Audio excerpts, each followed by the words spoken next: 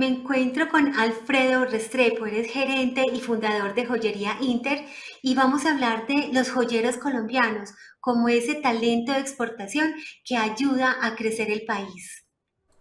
Eh, muchas gracias por la invitación. El día de hoy les quiero contar que la entidad como el sector joyero le aporta el empleo, empleo eh, normatizado con muy buena eh, formación que la hacemos a través de las eh, unidades joyeras tradicionales o las hacemos por intermedio del SENA, el SENA nacional y los SENA regionales. También con las universidades eh, locales y las escuelas de formación. Bueno, entonces cuéntenos ¿Cómo hace un joyero para formarse en Colombia? Pues están estas entidades que aportan, eh, ellos tienen que pagar, son formaciones muy largas. Cuéntenos un poco más sobre esto. Colombia tiene una gran ventaja y es que tiene el SENA, fundado en 1958, con una orientación muy social y muy incluyente. Los valores que tienen que eh, pagar, digamos, las personas que aplican a más o menos eh, 20 mil personas, que es la que hacen a nivel nacional como política, es muy baja. Digamos que es casi gratuito la formación de técnicas o tecnólogos en joyería. Muy bien. Alfredo, cuéntenos cuál es el valor agregado de este ejercicio y qué tan importante es un joyero para este sector. Digamos que hay, hay muchas. Lo primero es hacerse la pregunta, ¿qué es un joyero?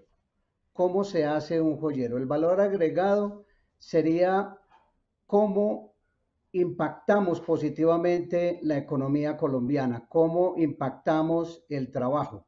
Ese mismo trabajo y de todo lo que estamos hablando en este momento tiene que ver siempre con un perfil, con unas funciones, con un conocimiento en la producción y con un conocimiento financiero y administrativo, porque si bien el oficio requiere de un conocimiento y como lo decimos que viene de generación en generación, tiene que aportarnos ir un poco más allá. Ir un poco más allá es la legalidad, la legalidad de la, de la liga, que si estamos haciendo un trabajo en oro, sea oro de 750 milésimas o sea 18 quilates. La otra parte es la parte impositiva, que la gente y los, los joyeros entiendan que son generadores del impuesto, que tienen que cumplir con una normatividad. Por ejemplo, en nuestro país tenemos el RUCON. Em, deben de estar pagando y deben de estar controlados por la UGPP para poder que tengan una pensión digna para sus últimos años de, de retiro. Los beneficios, como les digo, son muchísimos. Eh, hoy en día en nuestro país estamos con beneficios como la del RUCON y los tratados internacionales. En general, yo pienso que el gobierno ha sido muy incluyente y hoy en día gozan de grandes beneficios nuestros joyeros a nivel nacional. Por supuesto, y la formalización ayuda a crecer el país. Cuéntenos por qué el sector de la joyería no se vio impactado durante la pandemia, sabiendo que tantos sectores sí lo estuvieron. Muy buena pregunta, Vianey, porque sé de muchas unidades joyeras que se quedaron, como decimos, atrapados en sus casas y la única comunicación que tenían era por intermedio del teléfono.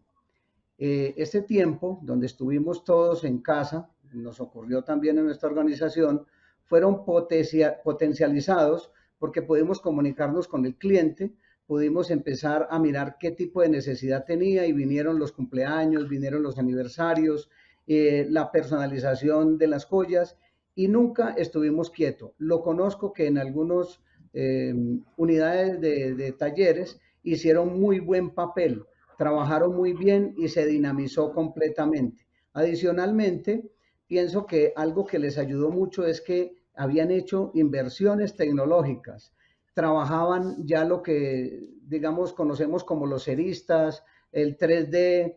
Entonces, todo esto se podía hacer in-house. Eh, el armar, el engastar, el, terminar una pieza hasta su final. Esto llevó a que en la época del confinamiento, pues esto diera grandes posibilidades a todo el sector de la joyería y fue a nivel nacional. Excelente noticia para todos. Y ahora, súper importante que nos cuente cómo Joyería Inter apoya al crecimiento profesional de estos joyeros colombianos. Sí, la joyería Inter pues siempre ha estado eh, muy atenta, no solamente de la formación de nuestros joyeros, que lo hacemos eh, de, de, una manera muy tradicional, apoyados también con todos los trabajos que hacemos nosotros con el SENA, estamos en los, en los equipos de trabajo de tecnología para actualizar las normas de competencia laboral, para eh, mejorar los perfiles y aclarar bien las funciones. Eh, nosotros, eh, digamos, tenemos una gran ventaja, le generamos un valor agregado a todos nuestros joyeros y es que una vez que los capacitamos, los mandamos internacionalmente para sacar los certificados, sea a España, sea a Suiza o sea a un país como México o Norteamérica. Alfredo, y cuéntenos, ¿cuál es el futuro de los joyeros y la joyería de Colombia en el mundo? Janet, en el mundo hay unas noticias alentadoras porque estamos hablando de que nos dicen los grandes indicadores que la joyería en el mundo va a tener un crecimiento más o menos del 3.2, 3.5%.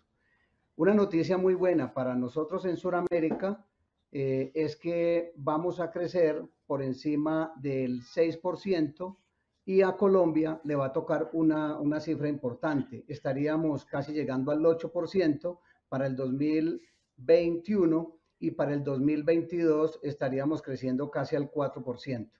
Entonces, buena noticia. Muy importante este sector entonces para el crecimiento de la economía colombiana, para la reactivación. Muchísimas gracias por estar con nosotros en nuestro programa. Gracias por la invitación, muy amable. Esto es Negocios en tu Mundo, Inspiración para la Acción.